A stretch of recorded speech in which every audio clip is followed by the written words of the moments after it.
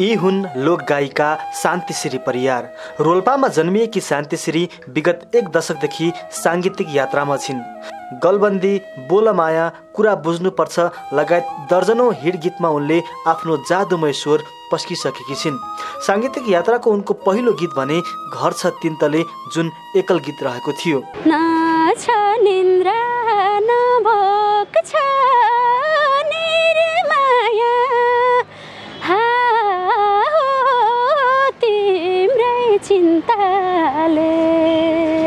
उनी आफै भन्छन् प्रकाश सप्पूसँग गाएको गलबन्दी बोलमाया लगायत गीतले अझ धेरै दर्शकमाझ परिचित गराएको हो। मेरो जिन्दगीको साङ्गीतिक करियर नै मेरो एकदमै उचाइमा राख्दिकिन सफल गीतहरू हो बोलमाया गलबन्दी जस्तो गीतहरू। तिनवटा गीत गाएँ मैले प्रकाशजीसँग। तिनवटै गीतले इतिहास रच्न सफल भए।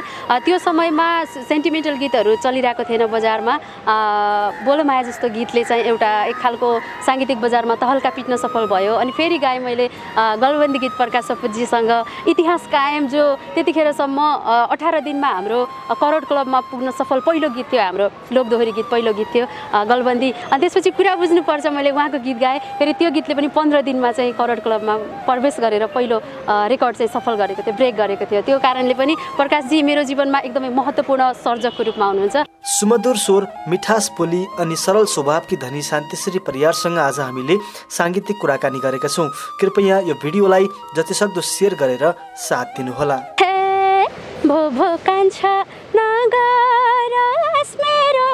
त्यो दिलैमा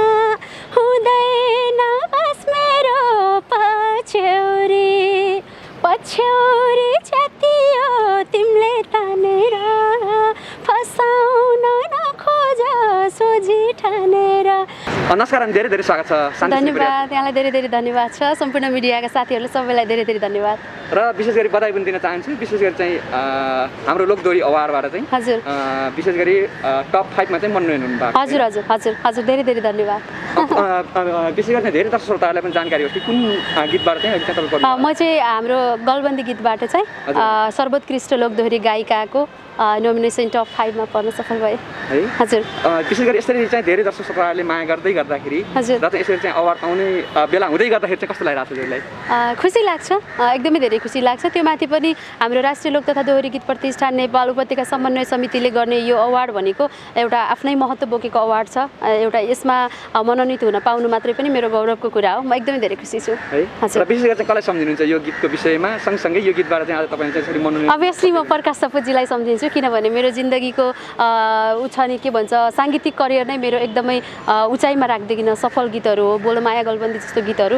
अनि त्यो गीतबाट पढ्न सफल हुँदाखेरि पर्दाखेरि म एकदमै धेरै आभारी छु प्रकाशजीलाई। एकदमै धेरै मैले एकदम टाइट हक पनि गरेको थिएँ प्रकाशजीलाई अघि मैले त्यो के अरे नोमिनेसन पाइसकेपछि टप फाइभमा परिसकेपछि आएर म एकदमै प्रकाश सपुजीलाई एकदमै धेरै धन्यवाद दिन चाहन्छु। विशेष गरी यो गलबन्दी सँगसँगै अन्य धेरै गीतहरू पनि प्रकाश सबसँग गरेका सहकारीहरूले तपाईँलाई चाहिँ फलिफा भइरहेको छ नि हजुर हजुर हजुर। हामीले तिनवटा गीत गाएँ मैले प्रकाशजीसँग। तिनवटै गीतले इतिहास रच्न सफल भए। त्यो समयमा सेन्टिमेन्टल गीतहरू चलिरहेको थिएन बजारमा। बोलमाया जस्तो गीतले चाहिँ एउटा एक खालको साङ्गीतिक बजारमा तहल्का पिट्न सफल भयो। अनि फेरि गाएँ मैले गलबन्दी गीत प्रकाश सपुजीसँग इतिहास कायम जो त्यतिखेरसम्म अठार दिनमा हाम्रो करोड क्लबमा पुग्न सफल पहिलो गीत थियो हाम्रो लोकदोहोरी गीत पहिलो गीत थियो गलबन्दी। अनि त्यसपछि कुरा बुझ्नुपर्छ मैले उहाँको गीत गाएँ। फेरि त्यो गीतले पनि पन्ध्र दिनमा चाहिँ करोड क्लबमा प्रवेश गरेर पहिलो रेकर्ड चाहिँ सफल गरेको थियो ब्रेक गरेको थियो। त्यो कारणले पनि प्रकाशजी मेरो जीवनमा एकदमै महत्त्वपूर्ण सर्जकको रूपमा हुनुहुन्छ एकदमै धेरै धन्यवाद प्रकाशजीलाई। ल ठिक छ। अब चाहिँ आगामी दिनमा चाहिँ फेरि पनि प्रकाश गरेका ती सहकारीहरू आउँदैछन् कि छैनन् होला? अब फेरि त्यस्तै गरी। अहिले तुरुन्तै त्यस्तो प्लानिङ केही पनि छैन। प्रकाशजीले त्यस्तो लामो प्लानिङ पहिलेदेखि भन्नु पनि हुन्न। यदि गर्नुभयो भने उहाँले भन्नुहुन्छ होला जस्तो लाग्छ तर अहिले चाहिँ छैन। अहिले चाहिँ छैन छैन? अहिले त्यस्तो प्लानिङभित्र छैन। ल ठिक छ। शान्तिश्री परिवार भन्ने बित्तिकै पछिल्लो समयमा धेरै दर्शक श्रोताहरूले माया गरेको मन पराएको र चाहिँ शान्तिश्री परिवार भनेर यहाँसम्म लिएर आएको पनि धेरै दर्शक श्रोताहरूको मायाले गर्दाखेरि होइन? र। चाहिँ अब चाहिँ तपाईँको चाहिँ जुन यो लोकदोहोरी गीत सङ्गीत क्षेत्रमा चाहिँ तपाईँको पाइला कसरी अगाडि बढ्ला यसरी नै निरन्तर रूपमा चल्ने हो अथवा चाहिँ तपाईँले चाहिँ यसलाई चाहिँ फेरि जुन होइन नयाँ तरिकाले चाहिँ लैजान चाहिँ सोच्नु भएको छ जुन धेरै जुन पछिल्लो समयमा चाहिँ धेरै जुन लोकदोहोरी कलाकारहरूले पनि आफैले विशेष गरी युट्युब च्यानल खोलेर व्यावसायिक रूपमा पनि अगाडि बढाइराख्नु भएको छ होइन? तपाईँले चाहिँ के सोच्नु भएको छ? होइन मलाई त अब दर्शक श्रोताले मलाई व्यावसायिक गायिकाको रूपमा नै माया गर्नुभएको छ होइन? मैले अरूको गीतहरू गाइरहेको छु म दिनमा धेरै रेकर्डिङहरू गरिरहेको हुन्छु। यो यो नै गरिरहन्छु। मैले आफ्नो साइडबाट चाहिँ मैले यो ब्रेक गर्छु अनि अरू नै गर्छु भन्ने त हुँदै हुँदैन। मैले आफ्नो तर्फबाट चाहिँ हन्ड्रेड पर्सेन्ट दिने अनि दर्शक श्रोताहरूको माया पाउने नै पाऊँ भन्ने नै अपेक्षा हुन्छ आशा हुन्छ होइन? त्यो हिसाबले नै मैले काम गरिरहने हो। अब कहिलेसम्म दर्शकले यत्तिकै माया गर्नुहुन्छ त्यो त दर्शकको हातमा छ। मैले त दर्शकलाई अझभन्दा अझ धेरै राम्रो राम्रोभन्दा पनि राम्रो सृजनाहरू दिन सकौँ प्रस्तुतिहरू दिन सकौँ भन्ने इच्छा त मेरो मनमा त भइ नै हाल्छ नि हजुर। ठिक छ प्रकाश सबसँग तपाईँले सहकार्य गर्दै आउँदाखेरि चाहिँ होइन। अहिले जुन पछिल्लो समयमा चाहिँ एउटा कुराले चाहिँ सामाजिक सञ्जाल अलिक तातिराखेको छ यो कुरा। पनि तपाईँ एउटा कलाकार भएको नाताले हामीहरूले सुन्न बाध्य भएका हजुर? हजुर। र चाहिँ जुन यो रक्सी सँगसँगै सुर्तीजन्य पदार्थहरूको विज्ञापन गर्ने विषयमा चाहिँ होइन। जुन कलाकारहरू भइसकेपछि यसरी गीतमा चाहिँ यसरी विज्ञापन हुने जुन गर्न हुने थिएन भन्ने धेरै दर्शक श्रोताहरूको कुरा आइरहँदाखेरि तपाईँ। भन्नुहुन्छ स्पेसली अब यो कुरालाई मैले व्यक्तिगत रूपमा भन्नुपर्दाखेरि प्रकाश सपुत भनेको एउटा सेलिब्रेटी हो होइन? नेपालको एउटा छोटो समयमा यस्तो राम्रो कामहरू गरेर यति दर्शक श्रोताको मन जितेर चाहिँ उहाँ एकदम नम्बर वान सेलिब्रेटी नै भन्छु म मेरो नजरमा चाहिँ। उहाँ त्यस्तो सेलिब्रेटी हो। त्यो कारणले उहाँ एउटा सुर्तीको एउटा उसको भन्ने कुरा भन्दा पनि उहाँ विभिन्न चिजहरूको एम्बेसडर भइराख्नु भएको छ। धेरै बैङ्कको हुनुभएको छ उहाँ विभिन्न कपडाहरूको हुनुभएको छ विभिन्न कम्पनीहरूको हुनुभएको छ। त्यो कुरालाई चाहिँ अलिक मध्यनजर गर्छ मान्छेले कम मात्रामा हेर्छ तर अब यो कुरालाई चाहिँ अगाडि बढाउँछ भनेपछि उहाँ त एउटा सेलिब्रेटी हो। उहाँले काम आयो काम गर्नुभयो। त्यो होला जस्तो लाग्छ मलाई मेरो विचारमा चाहिँ। सेलिब्रेटी भए भन्दैमा चाहिँ जुन चाहिँ जुन यस्ता मादक पदार्थहरू होइन। जुन सुर्तीजन्य पदार्थहरूको चाहिँ विज्ञापन गर्न चाहिँ पाइन्छ होला जस्तो हजुरलाई लाग्छ कि लाग्दैन? होइन होइन त्यो त्यसरी जुन तपाईँको आफ्नै मनले भन्दै गर्दा होइन मेरो मनले भन्दाखेरि मतलब त्यसरी उहाँले पनि त्यो सुर्तीको मात्रै उसको मात्रै मैले प्रत्यक्ष भन्नुपर्दाखेरि यो चिजको त्यति धेरै बुझेको पनि छैन यो विषयमा। मैले अघि मात्र यहाँ एकजना यस्तै मिडियाकर्मी साथीले सोद्धाखेरि मात्रै मैले बुझेको हो होइन। मैले प्रत्यक्ष यो बारेमा के हो त्यति धेरै बुझेको छैन क्या सुनेको छैन। अब आज मात्रै थाहा भयो मलाई यो बारेमा सर्च गरौँला म पनि। तर मैले भने जस्तै अब प्रकाशजीलाई धेरै त्यो चिजले मागिरहेको छ त्यो भएर उहाँले गर्नुभयो होला। उहाँले केही बुझेर गर्नुभएको छ होला। त्यो भित्र गएर पनि हेर्नु होला तपाईँहरूले कतिपय टाइटल मात्र हेरेर पनि यो कुराहरू भइरहेको हुन्छ होइन? मैले चाहिँ पर्सनली हेरेको छैन। त्यो कारणले गर्दाखेरि टाइटल मात्रै नहेरेर भित्री कुरा हेरौँ। के रहेछ म पनि बुझेको छैन। बुझ्न बुझ्छु म पनि? बुझेपछि तपाईँहरूलाई यसको उत्तर दिउँला मैले। ल ठिक छ। त्यसो भए अब चाहिँ जुन आज चाहिँ तपाईँ चाहिँ जुन टप फाइभमा चाहिँ मनोनयन हुनुभएको छ। त्यसैको जुन गीतमा चाहिँ मनोनयन हुनुभयो त्यो दर्शकहरूमा सुनाइन्छ त्यो गीत हुन्छ म अवश्य सुनाउँछु। हे भो भो कान्छा नगरस् मेरो त्यो दिलैमा हुँदैन बस मेरो पछ्यौरी पछ्यौरी छ्यातियो तिमीले तानेर फसाउन नखोज सोझी ठानेर हाय हाय फसाउन नखोज सोझी ठानेर ल ठिक छ प्रकाश सपुतसँग तपाईँले जब सहकार्य गर्नुभन्दा अगाडि होइन। सहकार्यका लागि चाहिँ जब कुरा आउँछ। त्यो कुरा आउँदै गर्दाखेरि चाहिँ होइन प्रकाश सपुतसँगको अहिलेको गीत पनि पक्कै पनि यसै गरी नै हिट हुन्छ होला करोड कलममा जान्छ होला भन्ने तपाईँको मनमा लाग्छ कि लाग्दैन होला? होइन यस्तो हो उहाँको सृजनाहरू अब्बल हुन्छ होइन? उहाँको सृजनाहरू पर्फेक्ट हुन्छ। त्यो कारणले गर्दाखेरि पनि अवश्य पनि राम्रो हुन्छ होला भन्ने त भइ नै हाल्छ नि। राम्रो किनभने सबै गीतहरू राम्रो भएको छ यो पनि राम्रो हुन्छ होला भन्ने त भइ नै हाल्छ नि। है? हजुर। ल ठिक छ तपाईँले चाहिँ कहिलेकाहीँ यो जुन गीत सङ्गीतमा सुरु सुरुमा लाग्दै गर्दाखेरि चाहिँ म चाहिँ एउटा गायिका नै बन्छु भन्ने तपाईँको चाहिँ लक्ष्य लिएर आउनु भएको थियो अथवा चाहिँ तपाईँको मोडलिङ क्षेत्रमा पनि जान पाए हुन्थ्यो भनेर तपाईँको सोच थियो। म गायिका नै बन्छु भनेर आएको म गायिका बनेको छु त्यो कुरामा खुसी छु। मोडलिङतिर मैले कहिले सोचिनँ पनि किनकि यो थोपडाले मोडलिङतिर त्यति दिँदैन होला। तर चाहिँ तपाईँ चाहिँ दिदीलाई चाहिँ मेरो एउटा क्वेसन दिदी चाहिँ पछिल्लो समय धेरै व्यस्त पनि हुनुहुन्छ होइन? तपाईँका चाहिँ जति पनि गीतहरू चाहिँ बजारमा आउँछन् सबै दु सुपर डुपर हिट पनि छन्। त्यो हिसाबले गर्दाखेरि चाहिँ दर्शकहरूले प्रश्न पनि गर्नुहुन्छ कि फ्यामिलीलाई चाहिँ टाइम दिन अलिकति भ्याउनुहुन्न कि भन्ने चाहिँ प्रश्न पनि उठ्छन् कतिको टाइम दिन यस्तो हो फ्यामिलीलाई टाइम भनेको मैले दिइ नै रहेको हुन्छु। अहिले चाहिँ स्पेसली म स्टेजहरू भर्खरै खुले खुलेको थियो होइन तर अहिले फेरि बन्द हुन लागिसक्यो। अनि अलिअलि खुल्दाखेरि पनि मैले स्टेज गरिरहेको थिइनँ। मैले रेकर्डिङमा मात्रै काम गरिरहेको थिएँ। अब काम भनेको तपाईँले देख्नुभयो बिहान म यहाँ दस बजी आएको अनि अहिले यहाँ छु। अनि अझै म रेकर्डिङ गर्नुपर्ने छ अनि राति पुग्छु। तर फ्यामिलीले खुसी हो मनको खुसी हो। टाइम छोटो टाइमलाई पनि टाइम मान्यो भने टाइम नै हो। म फ्यामिलीसँग टाइम बिताइ नै रहेको हुन्छ। तर दिनभरि बस्ने यस्तो भन्ने त हुँदैन। तर जो सँगै खाना खानेसम्म हुन्छ बिहानसँगै दस बजी खाना खाने बेलुकाको नौ बजी खाना खाने चाहिँ हुन्छ। श्रीमानले कतिको साथ सपोर्ट एकदमै? धेरै। उहाँको साथ सपोर्ट नभएको भए सायद म यहाँ हुँदैन थिएँ तपाईँहरूको माझमा यसरी बोल्न पाइरहेको हुँदैन थिएँ। उहाँले धेरै सपोर्ट गर्नुहुन्छ। थ्याङ्क यू ल ठिक छ। अब चाहिँ आगामी दिनमा पनि तपाईँलाई फेरि पनि जुन यो गीत सङ्गीत क्षेत्रमा चाहिँ विशेष गरी चाहिँ योभन्दा पनि अझै माथि पुगेको देख्न पाइयोस् होइन?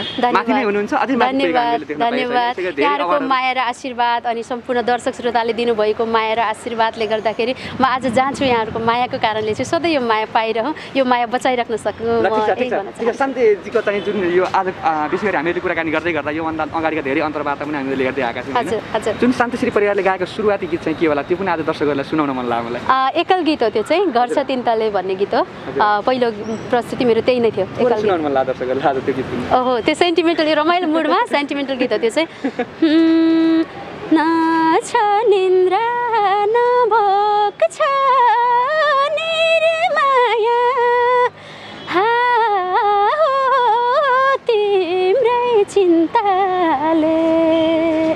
गीत है? ल, हजुर ठिक छ।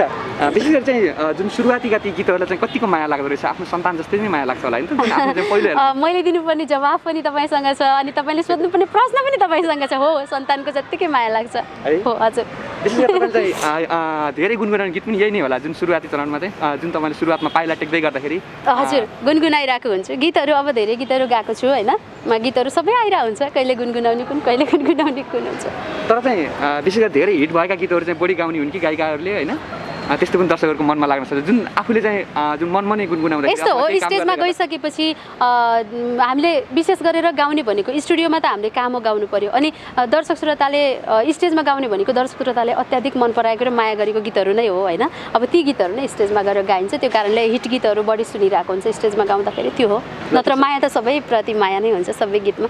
व्यस्त बन्नुको कारण चाहिँ के हो? तपाईँ धेरै व्यस्त गायिका मध्येमा पर्नुहुन्छ होइन? मध्येमा भन्दा पनि नम्बर वानमै तपाईँ हुनुहुन्छ। कारण चाहिँ के छ? दर्शकहरूको माया हो अथवा के छ? अ, त्यस्तो धेरै ठुलो कारणै छैन। मलाई ईश्वरले दिनुभएको यो गलामा दिनुभएको एउटा आवाज अनि दर्शकहरूले त्यही आवाजलाई मन पराउने दर्शक श्रोता त्यही नै हो। आज तपाईँ म सफल भएँ जस्तो चाहिँ लाग्छ कि लाग्दैन? होइन सफल भनेर सफल केही हदसम्म खुड्किलाहरू चढेको छु होइन पार गरेको छु त्यो एउटा कुरा हो। तर सफल भनेर यत्तिकै सफलतालाई मैले खतरा सफलता भन्न मिल्दैन किनभने मैले अझै धेरै कामहरू गर्नु बाँकी छ अझै राम्रा सिर्जनाहरू लिएर आउनु बाँकी छ जस्तो लाग्छ।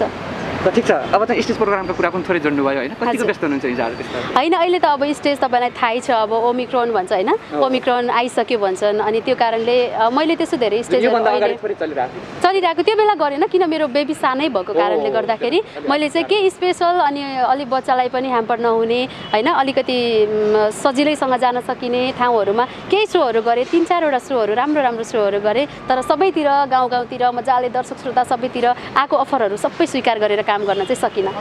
हजुर ठिक छ अब चाहिँ जुन यो फेरि पनि अब लकडाउन होला जस्तो छ होइन? हजुर। विशेष गरी कलाकारहरूलाई कतिको डर लागेको छ कतिको चाहिँ मनमा चिन्ता लागिरहेको छ फेरि लकडाउन हुने कि भन्ने?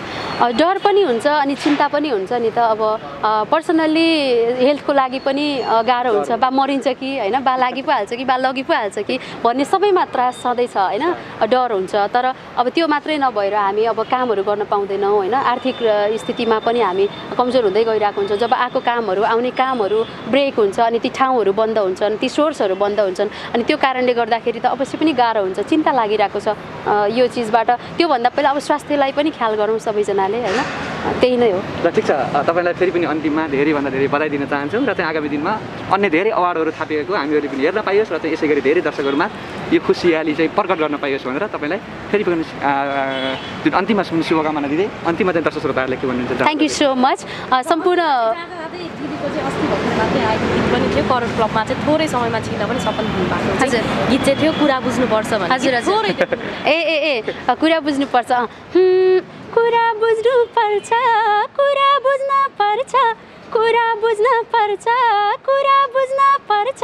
जसले माया गर्छ उसलाई जोबन खर्च। हे जसले माया गर्छ उसलाई जोबन खर्च। हे जसले माया गर्छ उसलाई जोबन खर्च। धन्यवाद। यति भन्दै म चाहिँ सम्पूर्ण दर्शक श्रोताहरू जति पनि हेरेर बस्नु भएको छ यहाँहरूलाई धेरै धेरै धन्यवाद। यहाँहरूको मायाले गर्दा नै यति धेरै माया साथ हौसला सपोर्ट सबै चिज पाएको छु। अनि मिडियाकर्मी साथीहरू यति धेरै आज तपाईँहरूसँग एकमुष्ट रूपमा यसरी कुरा गर्न पाउँदा म एकदमै हृदयदेखि नै एकदम धेरै खुसी छु। थ्याङ्क यू सो मच सबैजनालाई। Thank you. Thank you